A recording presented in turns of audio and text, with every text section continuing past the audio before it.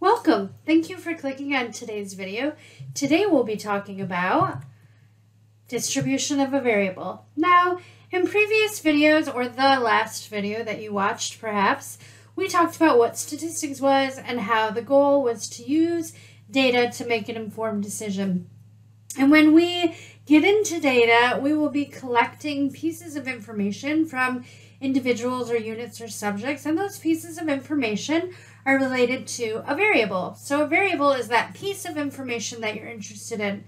Now, the distribution of a variable is going to be all possible values for the variable and how often that happens. So that can be for either categorical or quantitative data. Now, if you don't know what that is, I have a separate video talking about the definition of categorical and quantitative, but essentially all variables have a distribution. So one that happens most frequently is something called the bell-shaped distribution, or we refer to it as the normal distribution.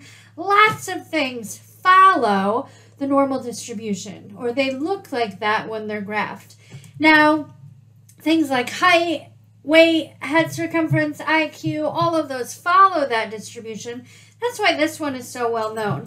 Now, when I say follow, follow, follow, essentially it just means that's what it looks like. That's the shape of the distribution.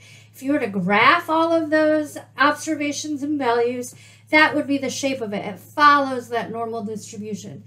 Now, knowing a variable's distribution is a really important part of statistics because it helps us to know how to do the analysis for that particular uh, data type.